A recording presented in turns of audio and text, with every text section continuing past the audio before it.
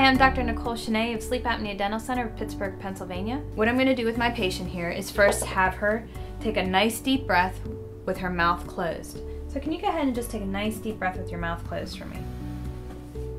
And what I want her to do is appreciate what that feels like for her. Commonly, when we have patients with obstructive sleep apnea, there's some form of nasal congestion, um, and it's usually not easy for them to breathe with their mouth closed and just through their nose.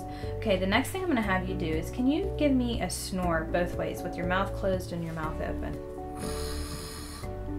You hear a little bit of a drag there, right? So what I'm first going to use is I'm to use this little gauge, and this is at a 4 millimeter setting, then 8 millimeters, 12 millimeters, and then that would, and so on. I'm anticipating we're going to find out pretty quickly how she feels. So I'm going to set this in. Okay, right, gently bite down. Take a nice deep breath for me.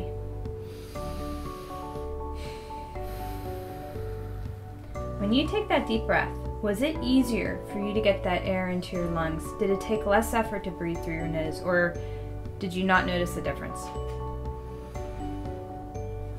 You notice the difference. Great. Okay. Keep your lips closed. Can you try and snore for me? Good job. A little bit difficult, huh? Let your lips come apart a little bit, but keep your teeth there. Try and snore for me. So a little bit better, but still you hear a little bit of, of, of resistance and drag. Okay, open big for me. Okay. Now I'm gonna go to the next level. Oh, right down. Bring your teeth forward a little bit. There you go. And I know it's a little awkward, but can you close your lips for me? Okay. So see how I have that? Is it much more difficult to snore? Yeah, surprising, huh? Okay. So now, what I know, open big, is that she's gonna fall somewhere in between the range of having a four millimeter vertical and an eight millimeter vertical. Okay. The other thing I know, bite down, bite down. When she bites down, She's she's class one. She's got a little bit of a crossbite here on her canines. So I'm just going to bring her slightly forward, just about two millimeters, so that her upper and her lower teeth are even. We call it edge to edge. The next step is we're going to use our our more detailed gauges. So I'm going to insert that in, open big, and it has a nice little notch. Okay, right down. Take a nice deep breath for me.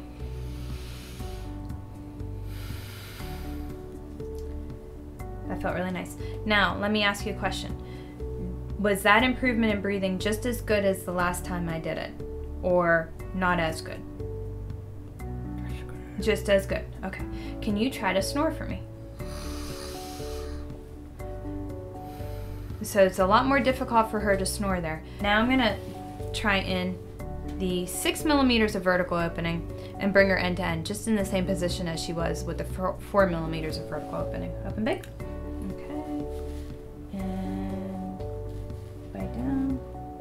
That position. So good. Keep that nice and level. Take a nice deep breath for me.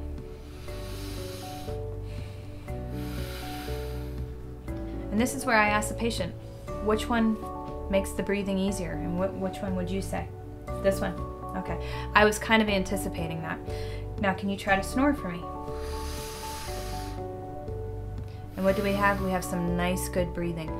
This is a great way then to start the patient out in this position. Did that feel like you had any jaw strain when I did that? Not really. Not, bad, not bad. So this is a nice way to be conservative, yet to um, engage the patient out of the gate when they can appreciate that there's a difference.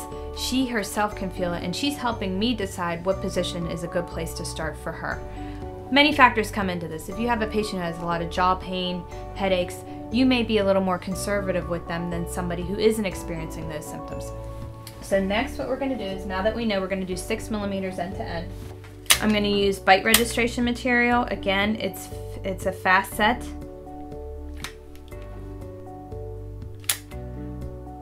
On the upper and lower, you want enough there to capture those premolars and molars. Oh, perfect. Very good. Now, make sure the patient's staying in position. Make sure they're not sliding around. And then what I, what I personally like to do is I like to fill that in. And so then this allows the lab to be able to fully set in. See how it's covering most of this? And then the lab has a very good idea of where that protrusive bite is. This takes 30 seconds to set up. In summary, this technique is a great way to get an, a starting position for your oral appliance. It engages the patient. They now can understand what you're going to do with the oral appliance. And um, I think the one thing that's so important about this is that you have them laying back, so you have them laying supine, which is where a lot of patients get into trouble with obstructions and snoring in the first place.